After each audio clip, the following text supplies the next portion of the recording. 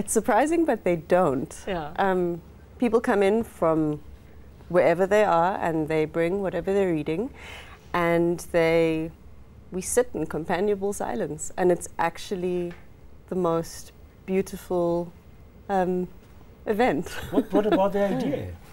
actually it was i think it was started uh, in the states in 2012 and it's actually a global thing um, it's sort of happening all over the place and you can look online for the Silent Book Club, and they, they even show you how to start it. And it was brought to South Africa by um, my collaborator, Anna Maria Panate, Mm.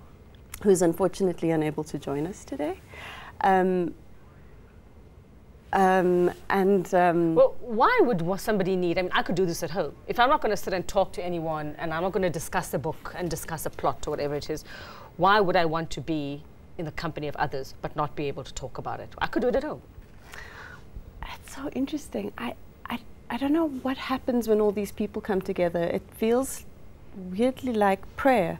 When, all, when a lot of people are invested in silence and creating silence, something else happens. There was the feedback from um, the events that we've had was that people have never read so deeply or so so much. It's, it's it's different. There's something else that happens when you're reading with other people. When when did you start this people. one with the, with the, with the institute? We've held two events at the Institute, um, and I think it started in August.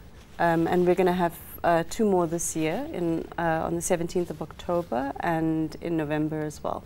Well, so it's not something that would happen on a weekly basis. You set the dates, you schedule the time, and then is, is it by invitation only, or It's on Facebook. Anybody? It's on Facebook. Yeah. Okay. And does everybody read a different book, or, or is everybody reading the same thing? Everybody's reading whatever they want Oh. to read. I mean, people were reading Steve Biko, they were reading Freud, some people were reading sort of trashy romance novels. It was just, you know, whatever people were doing at the time. And that's what makes it so interesting is that you just get this beautiful cross section of what people are interested in.